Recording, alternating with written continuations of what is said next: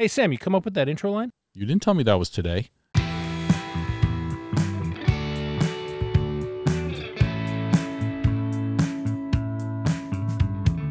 Hello, everybody, and welcome to the Writer's Room with Sam and Jim. This is the show where we bring aspiring writers into our writer's room to help them work on and develop their story. And we're going to do that with Jeff Thurber in just a minute. But first, Sam wants to go off about something. Sam, what you got? So I'm watching one of my favorite shows, and I was in it. I was watching an episode. I was all excited. I had everything positioned just right in my uh, TV viewing room, big screen. It's all good, right? And I wasn't sleepy. I was ready to watch it, and I started watching this episode, and I realized that nothing was happening. That the whole in the whole episode, which is unusual for this show. This show is not. Uh, Right. This show is a lot of stuff happening all the time, a lot of different storylines. But in this episode, not very much was happening, and I realized why after about ten or fifteen minutes. It's a middle episode. Uh, And the middle episodes, you know, an episode that falls in the middle of the season, those are tough to write. it's that thing. You build the bridge from both ends. You know where you're ending, you know where you're starting, and then you get to that middle. You got to try and make things meet up. And there's another component though for TV writers, which is you blew a lot of money on special Yeah, effects right. or stunt casting or whatever big action things if it's an action show or, Or you're saving big- money up for the climax to do those and things. you're saving money up for the climax, right? Because you Yeah. had to uh, you had to start strong and you have to finish strong. Right. So you have both those pressures. The studio, who's ever the production executive, is is you're having a lot of conversations about what your plans are. um, and in this moment, you're like, look, I'm going to save some money.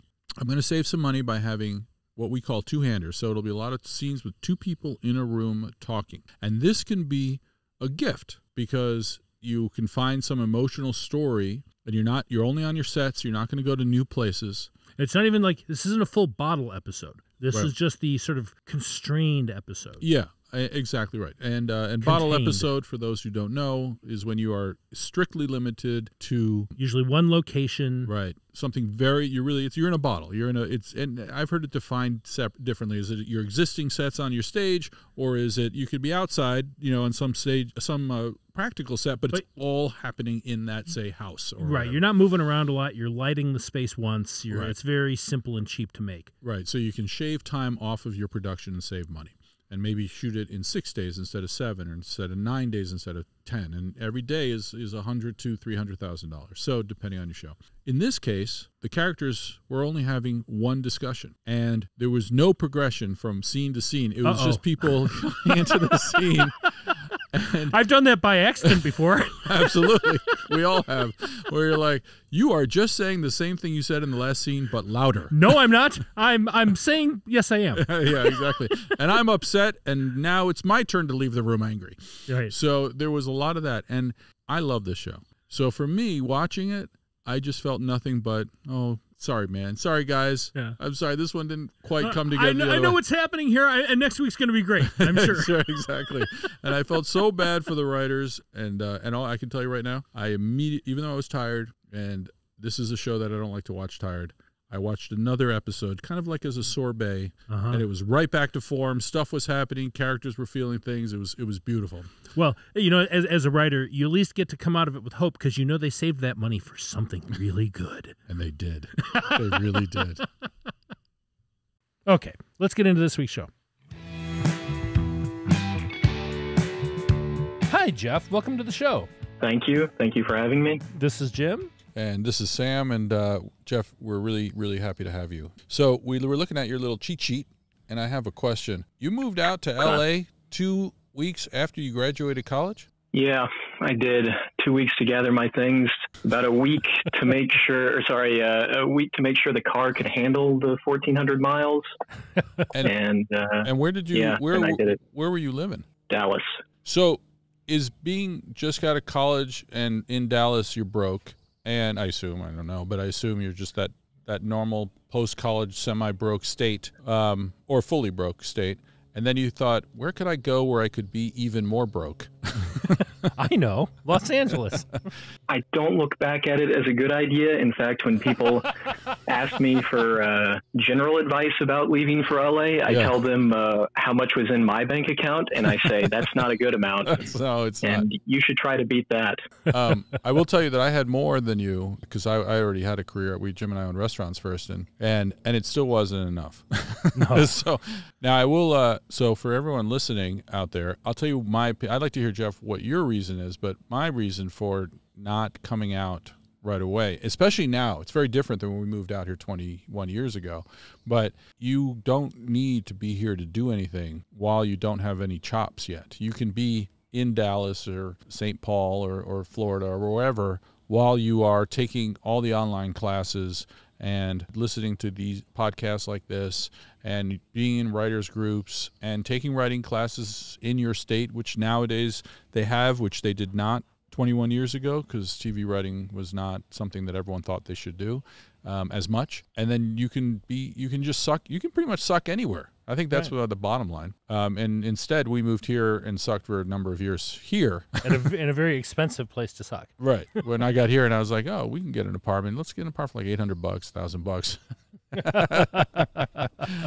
that was because I was in you know, Minneapolis, St. Paul, and that's what they cost. Oh, well. Right. Um, so, what about you? Why was it a terrible idea for you? Same thing or something different? You know, like I, I had said in the pre-interview, I was honestly afraid that I would lose my nerve if I just didn't do it right away. I went to school for film, like you said, doing the online classes. I did all that. I sunk a bunch of money uh, into my education, and the reasons I had uh, for not going when I had uh, a guest room available, the list wasn't long, and it probably should have been a lot longer, considering, like I said, monetarily, because the first year and a half, like you guys said, was incredibly difficult. That's that's brave though. You have the courage of your convictions. You let yourself take the leap. And if you're not going to do it when you're right out of college, when are you going to do it? Well, we weren't right out of college. We just, I know, we, we it- were just dumber. Well, because we thought we'd stored up enough, you know, nuts for the winter that you know, as good squirrels, we would go out and we'd be well fed. And it turned out not to quite be that case. But Yeah. I mean, I think there's there's definitely a plus to you know when you got nothing, you got nothing left to lose. right, you know, Right. I mean, you know, if you I don't know how much you had in a bank account, but if it was a few thousand bucks, well, that's not a lot. I mean, it's a lot more than not having a few thousand bucks. But uh, Visa and uh, Mastercard would be happy to lend you money at a very reasonable rate. right. But then a year and a half in, you- you're facing a whole different level of Yeah, problem. there you really are. Then you're living in your car.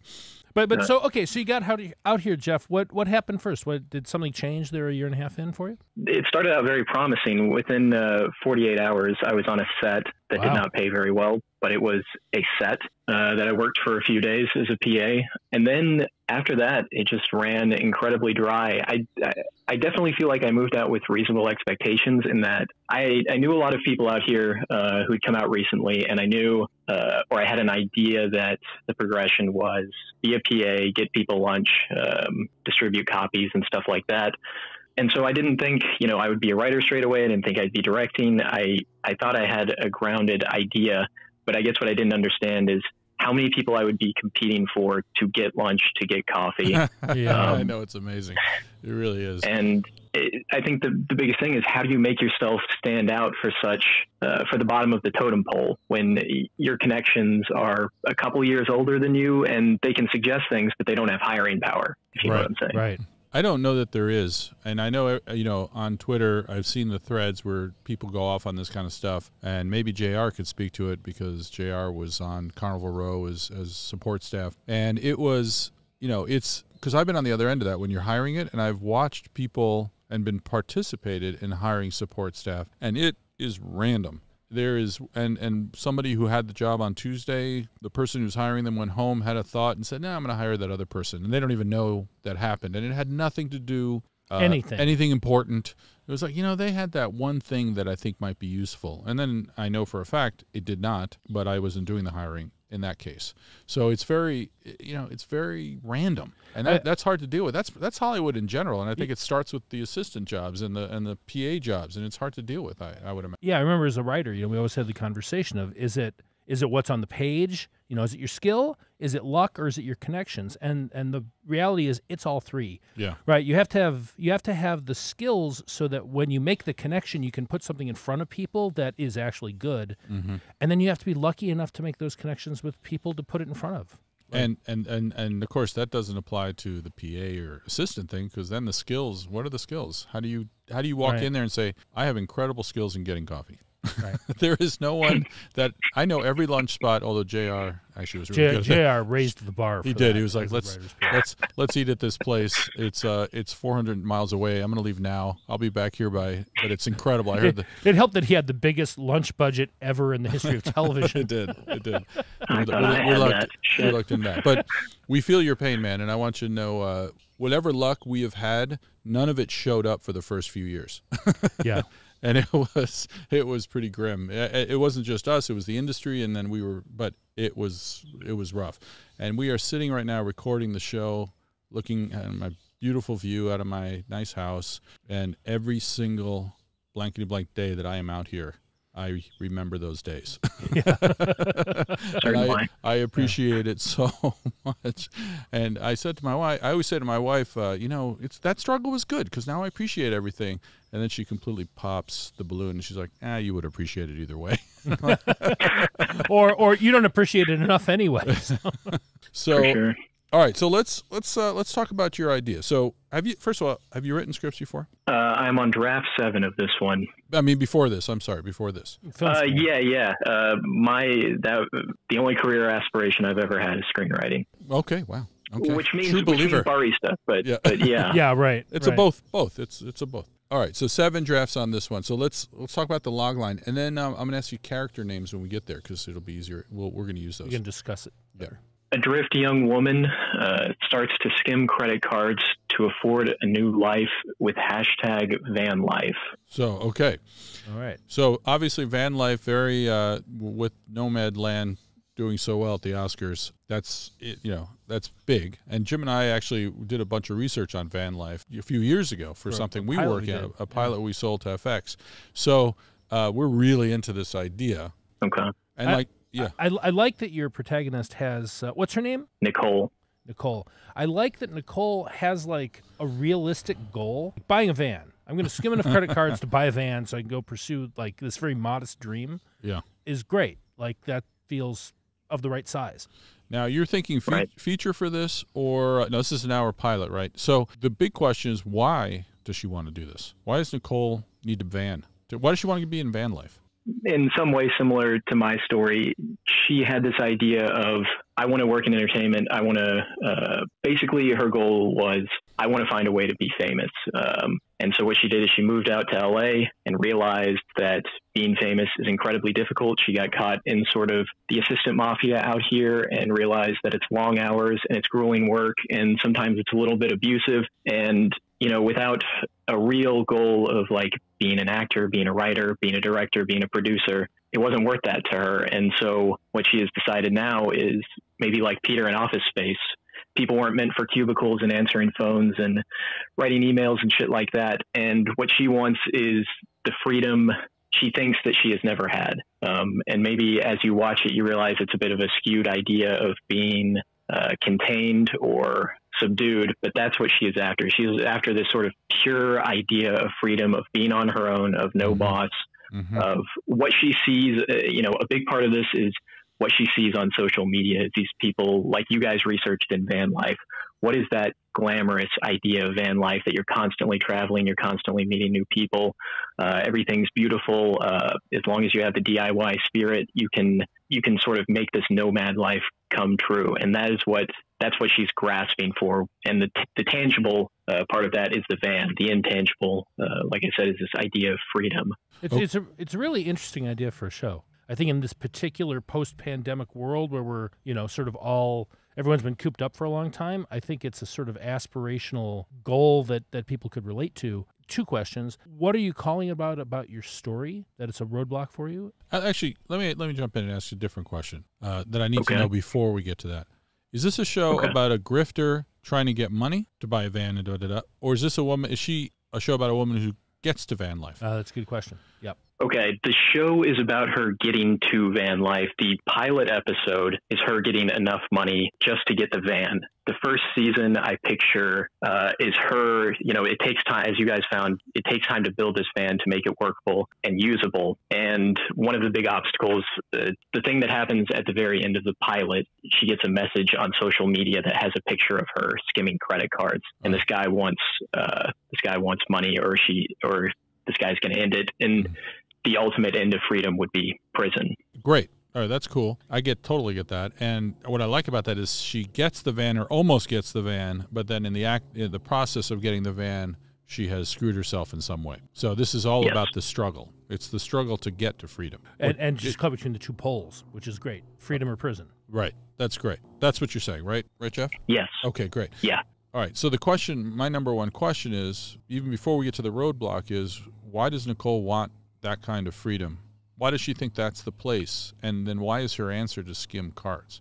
Because that's not a common answer to it, or maybe it is. I, don't- I don't really know. But Not why? for you. Yeah. I, I'm reluctant to give you my credit card number. I, I must say. Yeah, nor- normally he just gives it out if you ask him. It's Right. The end of the call. Right. Okay, so why does she want this? Uh, growing up, she had parents that uh, married very young uh, and divorced when it didn't work, and she spent time bouncing between the two of them and was constantly uh, under their thumb and their uh, expectations. And uh, finally, getting to college, college was a sort of you know freedom for her to step out, but it was also uh, being broke. Uh, she had you know one parent paying for it and didn't you know never quite achieving uh, again the skewed idea that the media or social media sells you of what it can be. There's always uh, this caveat, and if she can just work a little bit harder and get a little bit more money, tear the reins off a little bit more, you know, it's kind of a it's kind of a rabbit hole. It's something you can't quite grasp, and that's why I want to start at the beginning of her story uh, with her being young, still reaching for it, and not having found out yet that it is illusory. But the thing, yeah, I get that. Uh, The thing about that she wants the freedom, you're never going to get to it on the show. This isn't a van life show, right? This is uh, So she will eventually. Eventually, she will handle the problem uh, with this guy that's extorting her. Uh, she will narrowly escape the authorities and get on the road. But you know, again, like you guys found in your research, a lot of van life is not how it's portrayed. It's still a struggle after that, and uh, you know, to still keep making money, she is still skimming credit cards. She's still going to gas stations. Uh, she's still putting herself at risk mhm. um, to keep the life going. Right. Okay. So you're on draft seven. So I get that idea that wherever you go, there you are. Right. That's basically what you're saying. Yeah. Right. So Right. and uh, and you know when you when she's working in an Amazon fulfillment center and and just to make enough money to get gas and fix the car and go on, that's that's an opportunity for more of her. Right. And you could do that. You could be like, well, this season is here, and this season she manages to get there. You, there's a lot of variations on that, and I think that's cool. Uh, you you've totally Right. thought about. It. But I'm going to write down what I think your roadblock is, and then Jim, I want you to think about what the roadblock is, and let's see if we can get it close. So, Okay. all right. So, what's your roadblock? Now, is this a roadblock for my character or the roadblock for me, as in why I'm, you know, want to? You as a writer. I think uh, two things. Um, I think the climax of her getting the van just on the page is not this great moment that I want it to be. And then the other thing, I've got notes on the script that are, it feels like I haven't gone deep enough into my character. And whether I have or not is not the point. It's not reflected. Um, Right. Right. I So those are two things I want to resolve. All right. So, I guess the second one. That was an easy one. I, I'm not taking any credit for that. It's almost always the answer. it's almost. I know. we get that note. You know, what- whatever Right. is. Is your problem words? Right. that's, that's, that's, how I feel that is. That is it. So I took the easy one. Here's why. Here's why. First of all, Yeah. that idea of the climax of getting the van is not, as you said, it's not a great moment. That is the least of your problems. yeah. Totally Absolutely, hundred percent. Uh, Let if, that go. if that's the end of your pilot, if you tie her getting the van to the exposure of someone has the goods on her skimming credit cards, Right. that's a great one-two punch. It's a fine kind of pilot ending. She's achieved her dream. Uh oh, she's also kneecapped at the same time. Right. Great, great. Now, I will I will tell you that what you said is exactly the same kinds of notes that we have both given and received in the last oh month or two. Okay?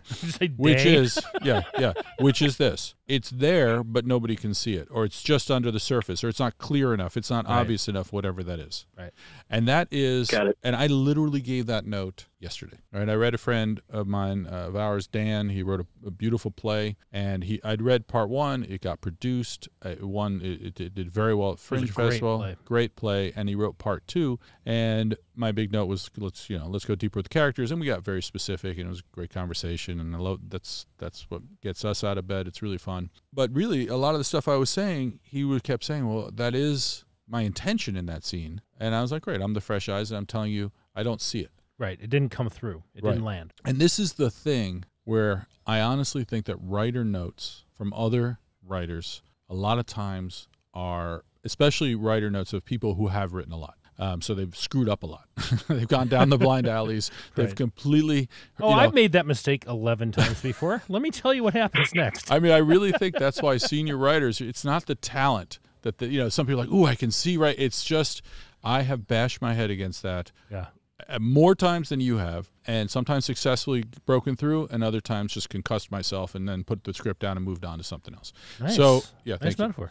All right, so I, I, sorry, Jeff, we probably lost you for a minute, but here's the point: what you don't have yet is obviously the character, and the character. i the point is, I don't know why she wants to run away. When I asked you that question, it was about her fear of being uh, bored or boring or her not fitting of into being trapped or yeah, but that's hard to write, right? That's very Right. loose and non-specific. Right. That's that's sort of the background emotion about how she feels about specific events in her life that have made her feel that way. And what are those specific Right. events? Well, what, what are the things she's carrying in her heart? What are the scars that are making her feel trapped and as if running away is might be the better answer? Right. Got it. And, and what do you think about that, Jeff? I'm gonna I, I want to keep going, but I want to ask you, what do you think about that? I mean, I can tell you right now that uh, what I gave you about the the parents being divorced and feeling under their thumb, it's it's an answer, but it's not the answer. It's not even if it were on the page, that doesn't feel strong enough. It feels like that happens to half of the globe, and Right. and Right. only only you know a quarter of the globe is stealing credit cards. So it just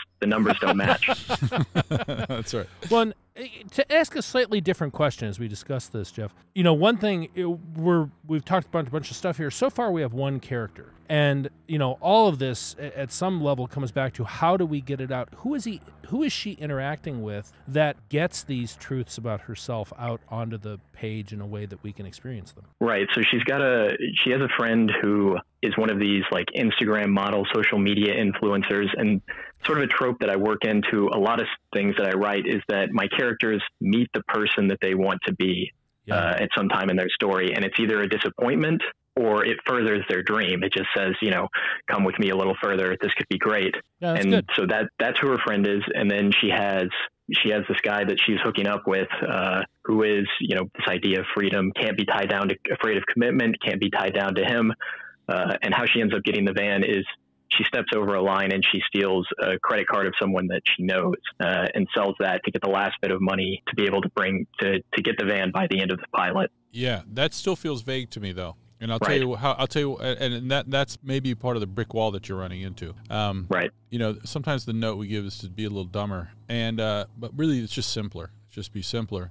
And the idea is you're saying she's skimming credit cards, and I'm like, well, okay, could you could she be doing other little acts of larceny as well? Does she get close to people and then take their stuff? Because I'm kind of interested in people who steal from their friends or steal from people they know, right? I'm kind of Right. interested in uh, how they how they line that up. You know, is she working everybody all the time, or is she never? I mean, what the idea of skimming credit cards to me feels bloodless. So I'm really interested when you said um, she steals from someone that she knows, and I'm like, well, what It- you know? and it's the sense of pressure on her that leads her to that choice right? Because we have to for a protagonist at some level we have to like her or at least appreciate her enjoy who she is even if we kind of don't like her. You know, that can happen. But like we, we have to feel for the pressure that's on her that's making her go do this at some point here in the pilot in order to get behind her. Mm-hmm. sure. So first of all, it would be great, and it's, it's you know you have a great moment where she steals from someone that she knows, but why save that to the end? Why not do that early, and then I'll start to understand her a little bit if that's her central dilemma. You know why? What, and you're going to say, well, I want her to build to it, but I'm going to say to you, right uh, right you- right You don't, you don't, you're not going to have me on page 50 if you don't have me on page five. Right. So a uh, caveat or or answer ish to that is big moment before that happens that puts her under the gun to do that to I need that card now is she gets quasi caught in the act a few pages earlier. So now she is on the nightly news. There, there is, you know, vague footage of her on the nightly, nightly news. There are people looking for her. She needs at this moment to get this, to probably get rid of her old vehicle, get this van and get the fuck out of LA ASAP. Yeah. But again, you know, good. that, that's still, that's a logistical thing, but is that like an emotional push or drive or I wonder is that the thing I'm looking for? Well, that's that's an external problem is the problem there. Yeah, I guess Right, I, right. I, I guess listening to this, Jeff, what I'm thinking about is the is that internal thing where where for example, and I, I don't know what's actually in your story, but if if she's all in, she's got this friend who's an Instagram, you know, model influencer, whatever person, and she's all in. She's devoted to that idea. That's what she wants. And her friend moves up the level, and she doesn't. She mm-hmm. gets shat on in some way that, that it's just clear that that door is just slammed in her face. But she's Right. already made some commitments. She's got some, you know, whatever. Right. And she has this wild hair idea that, well, but maybe if I'm an influencer living the van life, like I could document that and be famous. Or I don't know, whatever it is, like some Yeah, some yeah. some aspiration. We we see the wound, we see what she wants next, but the only way she can get there that she can think of, she conveniently steals a credit card number and it works In the very beginning. in the very beginning, Yeah. right? And that gives her the like, oh shit, this is an maybe this is how I do this, right? Yeah. And so we can kind of be with her because you know we can we, we were with her when she was just an honest woman trying to find her way to make a splash in the world, and then that's torn out from underneath her, and now she sees this other way, and even though it's wrong, we're kind of with her because she's just trying to patch this hole in her life that we and saw she her and she doesn't want to steal that money, but Right. but she doesn't have another opportunity to do it. Right, And and, then the she way- can't can't resist it because it's easy, and she's sliding down a slope that we can all kind of understand.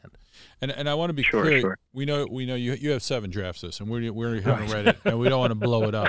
So these are all. This is just illustrative, right? This is the idea of we want to see the the original sin, and we want to see what drove her there. You don't have to. Sometimes a lot of shows deal with that in a flashback, or they they deal with it one character telling another one a little later, uh, and you can come in hot where she's stealing the card and that's your amazing first scene where she steals it and then And then you find out why she was driven to that point. right But it's just setting emotional hooks so that we're we're with her in some way. We we feel the experience. Yeah, it can't just be you know some sort of angst that thing, and and you know I, I need to understand more than that. Um, otherwise, Right, and, right. And it's not because that's not true or real. It's just not enough to drive for me. Sure, sure. Um, because and I need to like her. I don't want her to be an influencer or anything like that. Because it's I I, I, I want to be like oh you know I get the idea of wanting freedom and aspiring to this thing, which may not be cool by the way when you actually get there, but I get wanting to be that, and so that'll give me the buy-in with her. But unfortunately, she's picked the wrong way to do it, and she's spiraling and spiraling. And I'm like, don't do it, don't do it. Oh damn, she did it.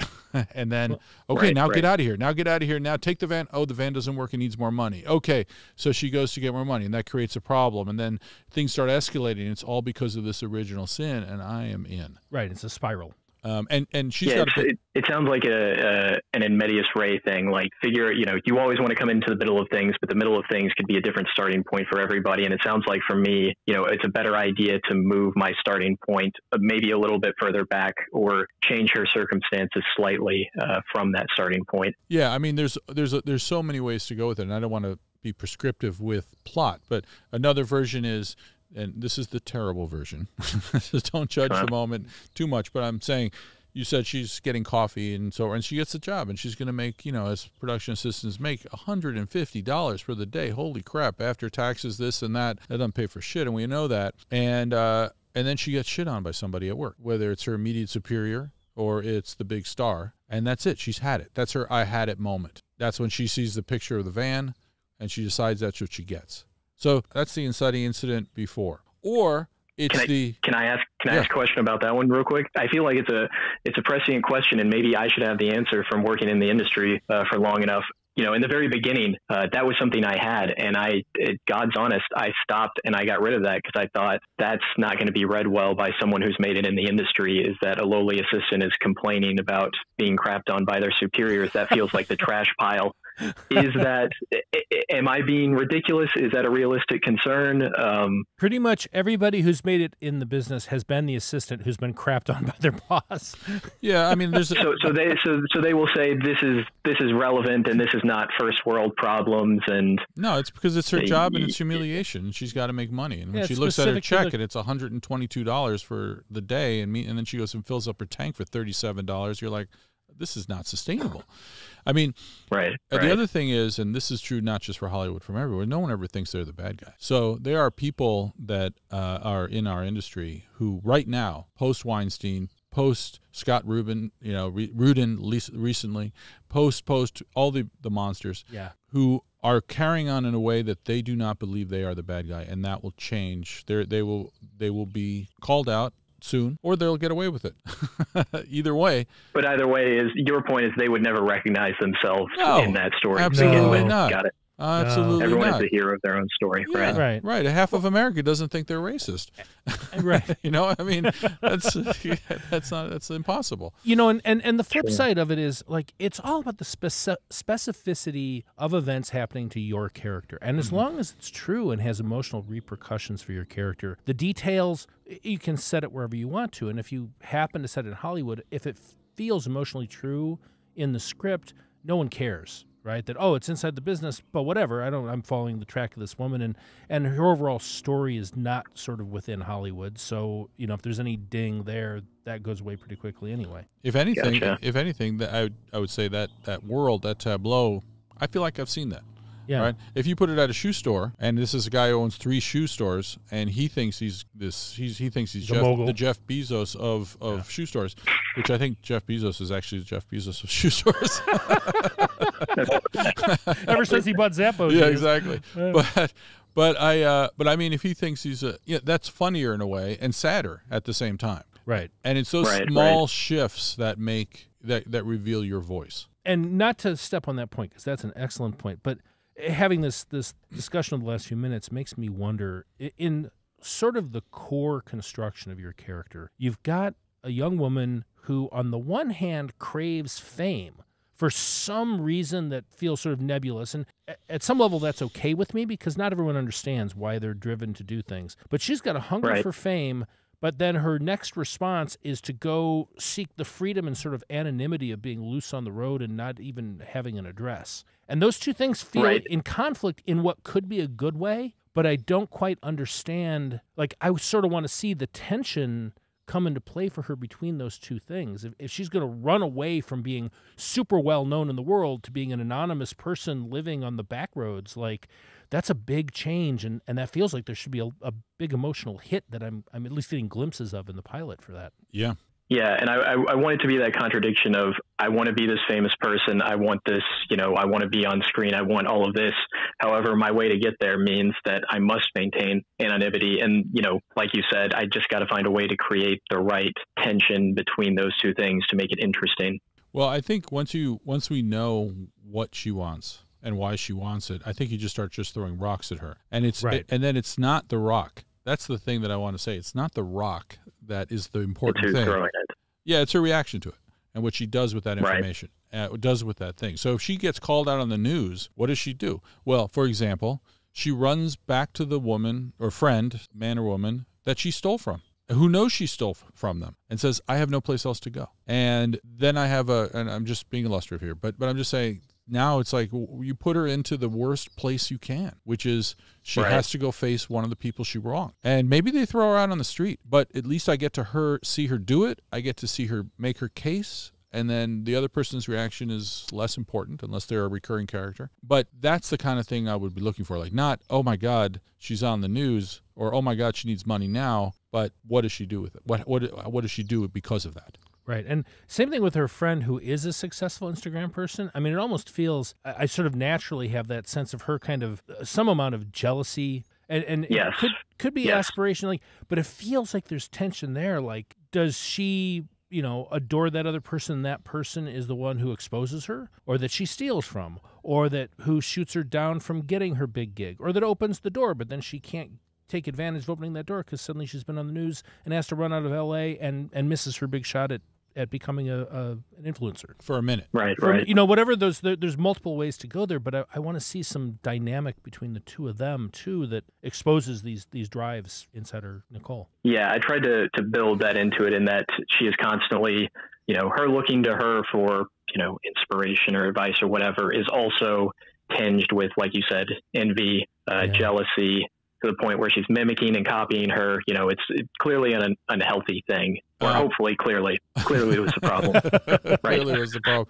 Have you ever done Yeah. the uh, Have you ever done the on the nose version where you just had everyone say everything that you want them to say in a completely terrible way? Have you done I know you say suck, but I, I, I can't suck like that. That's like, you know, What? going out and trying to get COVID. You know, I, I can't do that. That's too much. Yeah, it's hard. It, it's definitely hard.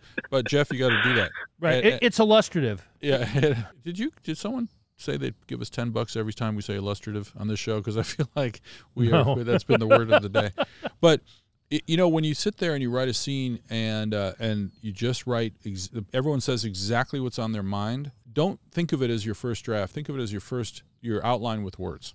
Right. and I, I that actually helps a lot. I've done it a bunch of times because I I more tended in the school of don't say it. Be elliptical. Yeah, in the old in the old days. But and I've worked with a a lot of people I've worked with showrunners and others definitely prefer you not to just say it. So we're all on the same team. And in the end, we almost always end up just saying it. It's true. Not necessarily not hopefully not in a shitty way. I'm not saying everyone's going to come in and say, "I'm so upset because this is what happened in the last scene." It, it's not that.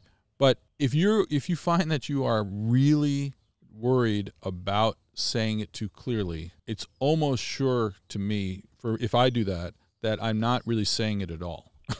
you know, Right. and I need to err on the side of more clarity because that is the the note. And we were on a show uh, called Crisis on NBC a while back now, it was six, six, seven years. But but there was a point where we were trying. It was a very complicated show. FBI, CIA, uh, Gillian Anderson, Dermot Mulroney, really smart writers on that show. Um, but we ended up, I ended up on the Clarity Commission, uh, I dubbed it, which was just a few writers of us sitting there and sorting out what we knew and when we knew it. And this was less less about the characters, a part of it, but it was about it was about the characters, but it wasn't. It was a network show. It wasn't a you know deep dive looking at my navel uh, um, slow streamer and it was it was huge for me because that I would normally not have volunteered myself for that job. But you Oh. did a great job of it. Thanks. And. I, I did. I learned a lot while I was doing it because I was really forced to say, this is what the character believes at this point, and this is how I know that. This is what I saw. And I just went down that for multiple episodes for something, for some reason that we had at that time, just so we wanted to lay it all out because we were getting banged every which way. And it really helped. Every scene I did it. And the piece that I'm recommending for you is not just asking what do they want in the scene and what's getting in the way, but actually have them say it. Or have another character say to them, I think what you want is this, right? Right. And then as you uh, just hold your nose while you're doing it. Right. And then even if they deny it and they right. Yeah. Just maybe maybe have a beer. maybe you know, maybe kick yourself in the nuts a couple times so you're distracted by the pain of that. And while you are distracted, just write it. And I'm telling you, it helps. It really helps. Uh, because you'll figure out a better way to say it. Yeah, I was going to say very, very intuitive. So credit to you because uh, this is a note that I've gotten back a lot too. Is that in all of my attempts to bury exposition, to bury the lead, to never have them say exactly what they're thinking, uh, I've definitely gotten the note that I hide their intentions and their emotions too much. So I just want to say I deserve no credit for this because this is half of us do that, and the other half, you know, it's you. You, Yeah. it's always the right line, and we're always on one side or the other. Too much or a little, you know, is it? And by the way, I could write, I could read a scene. Jim could read a scene in a different script. And, you know, we're look, reading some other person's script, and I will si- circle it and say uh, that's too on the nose, and Jim will circle and say great.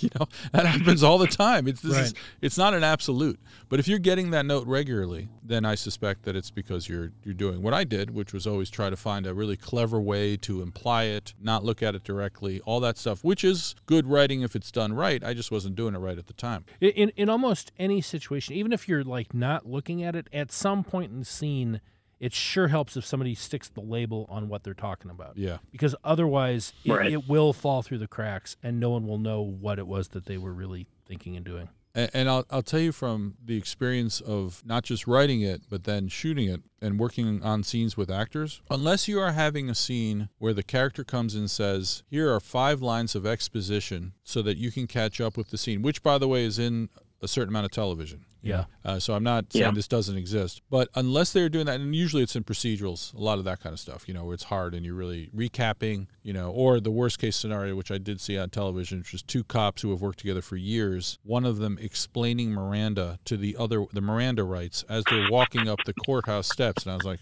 wow, that, how did you, all I, you know, there's so many things you can think about. All I thought about was the poor writer who had to look at the uh, actor and say, I know, I know. We get what we, I got a note. I got And a the note. actor's like, "It's okay. It's season 11. Do you know how much money I'm making? I'll just tell me what you want me to say. I'll say it." I, I, I hope I hope they don't give up.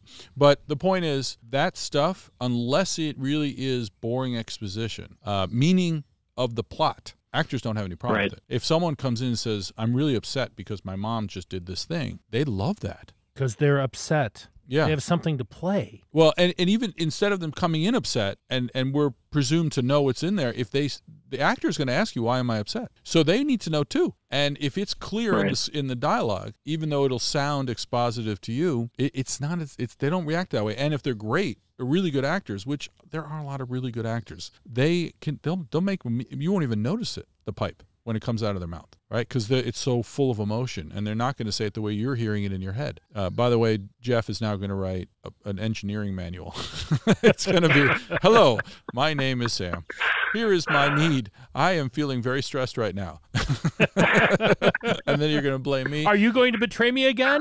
yes, this is what I'm worried about. That you will betray me, and consequently, what? You're not going to betray me? You're, are you actually my friend? Hey, that's the scene turn. Okay, now I can go to the following scene. Um, by the way, that would not be a terrible thing to write for the outline with words, or for the. You Yeah, know- you know it, it would be, but you can do better than that. but th- Well, this is uh, this is great and terrifying. You know, it means that I actually have to change after the call. This wasn't ending with uh, what what. Part of me was hoping that it would end and say, "Well, listen, you're on the right track. This is perfect. Uh, things are things are changing for you, but look what you've done now." yeah, well, um, our goal is not with this script because we haven't read the script, and so we don't know. Right. You- We're just. You're- It could be genius, and we're just screwing you up. Yeah, it absolutely could be. But Who knows? This, but this skill or this thing, which you know, as in all things, is you know, the, we know the rules or we know the tricks because we've done them. We're always learning new ones, but that doesn't mean we can do them on the day that we need to do it. Sometimes Right. it shows up, sometimes it doesn't. And one of the benefits of Jim and I working together is hopefully one of us will remember that when we get to that scene or that moment or that idea. Um, and I'll say I think our story engine's a little messed up, and and then he'll usually he'll say really why, um, and then we'll get into it. and That'll be three hours. But the point is, it helps to have fresh eyes. With my friend Dan's play, and this is what other writers can do for you, is I could say, I think these characters are in this way. And he says, I don't understand why they're doing what they're doing. He says, Well, I think it's pretty clear to me in these scenes, but if Sam's not seeing it, then I need to make it clear. Um, and just so you know, our agent did exactly that on our last draft, a few, few drafts on the script that Jim and I are writing right now. And so these notes don't change. It's just we know where we're aiming for. but getting there, oh my God Sure. sometimes you know look i, I wish um i wish there was like a, a set of things there just isn't a set of things it's just the toolbox and it's not one of those really well organized ace hardware things where everything goes in the right pocket it's just a big ziploc Yeah, know? there's, there's, I know writers who want there to be a recipe. If you just do, you know, you set out your list of 20 ingredients and then you put them together, it's going to be perfect guacamole when you're done. Mhm. And no, that's really not how it works. no so what we're saying is yeah this is how you should do it but this this is an aspirational goal for all of us Right. Right. Gotcha. Um, I will say though, uh, when it is eight o'clock, nine o'clock at night, and you're in a writer's room and you just had dinner and you're going into your food coma, and it, it doesn't really matter, you know, what's going on. You must get that draft out tonight, or you must finish that outline. This is what saves you. Yeah, because it will at least, anyone can read it and go, oh, okay, I understand what the scene is, check. Right. We can move on. Because you can always make it better. Right. But uh, but clear work, clear is great. clear buys you a lot. At that lot. point, on the nose is not bad. Okay. well, what you think is on the nose. That Right. doesn't may mean not it be is. to the next person. It may right, not right. be. And also, you know, look, the line is, look, I just want to go see my mother.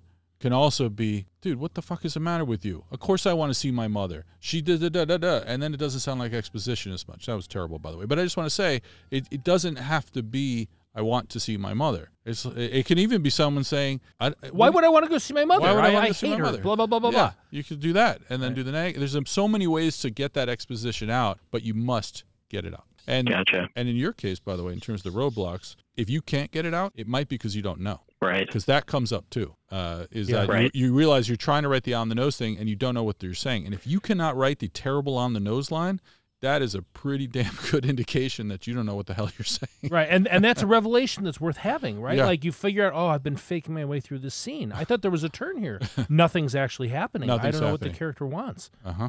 So uh, Right. And it, so what I, I guess what we're saying is the very thing that you're worried about is actually might have multiple repercussions, which is you're not the process isn't letting you see that what you know and don't know, and then it's keeping it obscured even if you do from the audience, and so that that bangs wrong to, two ways.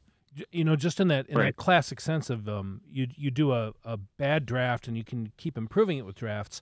Getting that basic draft that's kind of bald and simple and plain. Mm-hmm. Um, if that if that draft works, everything you do to spice it up is going to work too because you have the bones. The Yep. scenes work. You know what the emotional flow of the story is. Well, then you can make it great because Mm-hmm. you can start obscuring the shit out of stuff. And as long as you can still read the scene and find the thing, Yeah. it's golden. You know, Jeff, do you write long outlines for your scripts? Yeah, they're pretty. Uh, they're pretty extensive. They they start as bullet points, but they never stay as bullet points. They they all become uh, paragraphs with uh, you know a bullet point on the occasional page. Great. And what I was going to say is, I don't like long outlines, but there are a lot of people that really do. And I think maybe I'm starting to understand that now because in an outline, you don't have to be good. Outlines are all terrible. They're hard to read. Yeah. They're not in, all the fun stuff is not in there. There's the, it's just a description of, it's like describing sex. They're they're completely You know, between two instead of having it. Right? Yeah. It's There's not a, it's value not a in that bullet- somewhere too. And and the thing about the outline is, right? The out the thing that the outline might help you with if you wrote it longer is you would feel free. You can write bad dialogue, and there are some people that write what they call uh, scrout lines, which are you know Right. screenplay outlines, and they're 20, 25 pages. I've heard of shows doing this, and they do it because It reveals the breaks. it reveals everything. yeah. Right? I would much rather just write a, a lame draft uh, than write a 25 page uh, scrout line. But, you know, they obviously work for people. And if I end, if Jim and I end up on a show or that's what the showrunner wants, then we'll, we'll write that. I, I have found myself a lot recently uh, on the last show we were working on in particular. I would sit there and have an outline or a scene I knew wasn't working, whatever, and I would sit there and just on a pad of paper, I would just start running dialogue out between the two characters to figure out, oh, if they say this or this is their idea and this idea and this idea, just to get an order of argument. What what are the things they're talking about to each other that f- gets me through the scene, and gets to the point? Yeah. And once you kind of understand where they're each coming back and forth from, well, then you can dress it up and say whatever you want to say. Yeah, you can rewrite it and you just have that version and you'll know. it. Framework. Yeah, it's not just swapping out words, by the way. It'll be more than that. I don't want Yeah. to say that you're not taking the terrible line and just putting in a good one. It's not that. It's a step along the way, though. So you are 100% sure of what the hell's happening in the scene. And I think when you rewrite it, sometimes you find different ways to do it. Yeah. Got it. How much did we mess you up now? How, No, did we screw up the script it needs- totally? Yes, but that's the point. That's the fucking point. It's got to be, uh, you know, you, you. This wasn't a. If I called you guys up to move a few commas, then I'd waste your time. This is. Uh, We do like moving commas. I mean, I, yeah. it, it, Yeah. it kills some time, and then at the end of it, you can say, "I, I think I did something." You can lie to yourself.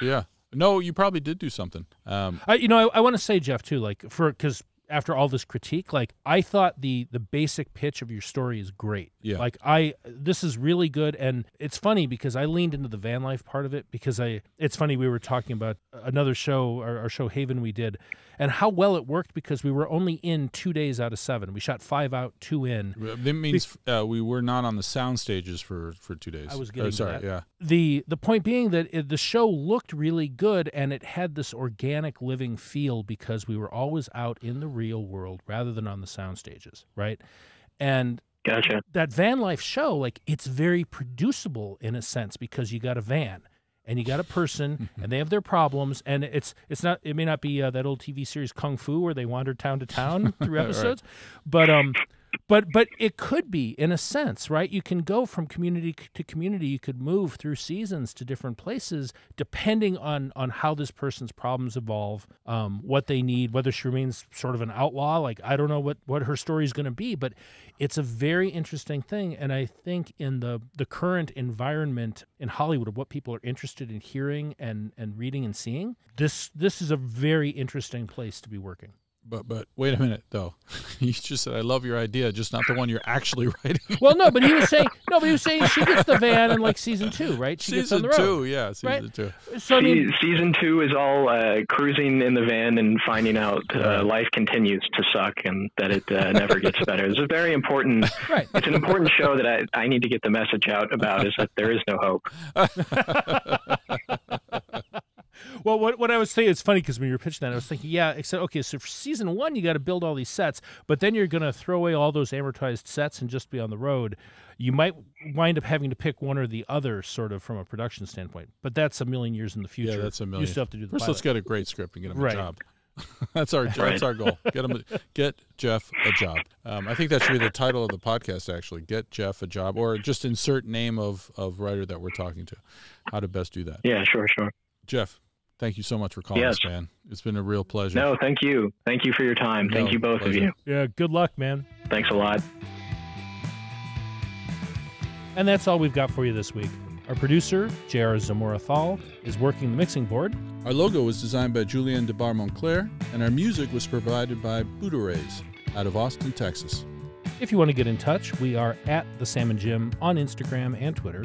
And you can find us on Facebook and YouTube as The Writer's Room with Sam and Jim. And if you like hanging out in the room with us, give us a follow on Apple Podcasts, Spotify, or wherever you get your podcasts. And tell a friend, would you, so we can get JR paid. Thanks, everyone. See you next week.